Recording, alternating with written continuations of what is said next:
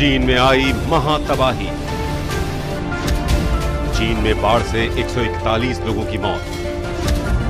चीन में महातांडव मचा रही हैं 433 नदियाँ।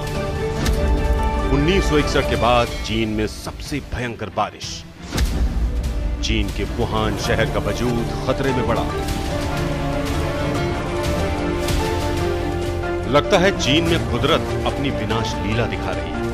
चीन ने जो कुकर्म किए हैं, अब उनका फल चीन भोग रहा है। जिधर देखो बर्बादी ही बर्बादी है, और हाँ सबसे बड़ी बर्बादी की कगार पर खड़ा है वुहान। जी हाँ वही वुहान, जिसे दुनिया में कोरोना का एपिसेंटर कहा गया है, और अब भयंकर बाढ़ से वुहान का वजूद ही खतरे में पड़ गया।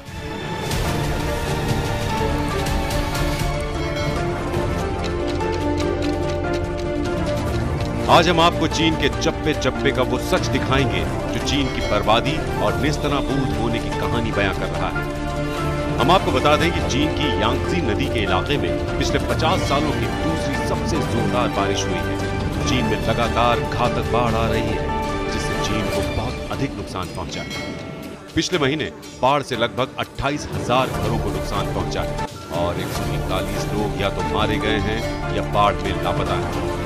चीन में आपातकालीन प्रबंधन उपमंत्री झेंग हुओ गुआंग के मुताबिक तिब्बत और शिंजियांग जैसे विशाल पश्चिमी क्षेत्रों को छोड़कर लगभग पूरे चीन में बाढ़ का प्रकोप दिखाई दे रहा है 洪涝灾害已经造成了全国二十七个省区市三千八百七十三万人次受灾， 呃，一百四十亿人死亡其中，倒塌房屋是二点九万间，直接经济损失是八百六十一点六亿元，同时有二百多万人次啊紧急转移需要安置，农田绝收的面积是五百一十六千公顷。